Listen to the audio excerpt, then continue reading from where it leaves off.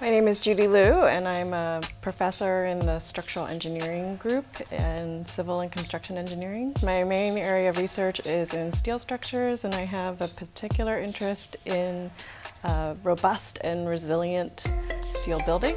So I'm very interested in not only can we design buildings to resist the demands from the earthquakes um, or tsunamis, for example, and make sure that people are safe but also can we make buildings that are easily repairable um, after event. So I'm very interested in um, what we call seismic fuses. We allow certain components in the steel building to yield and absorb the energy, but we control it. We, we pick certain components where we say, okay, this is the component that's going to yield, and the rest of the building will remain elastic and will remain undamaged and we know we can better predict what is going to happen um, in the building in um, a seismic event.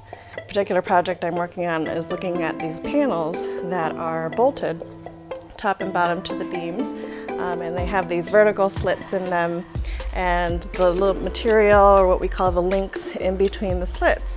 Um, as the, the floors move relative to one another, those links also deform and yield and absorb the energy and the system is designed so all of the energy absorption, all of the damage is limited to those panels. And because they're bolted in place, the thought is, oh, after an earthquake, we can go in, unbolt them, um, take a, get a new panel, bolt it in, and then we could be ready to go maybe after repairing some of the non-structural damage. One particular seismic fuse that I'm looking at right now is what we call the steel slit panel, and it's part of what we call steel slit panel frames. We set up a scale model of our steel slit panel frame, right? We fix it to the, the strong floor in the lab. Um, and then we have these hydraulic actuators or hydraulic rams where we can push um, sort of at maybe the floor level, right? So we've got the strong floor of the lab is one floor level, the actuator is at the next floor level,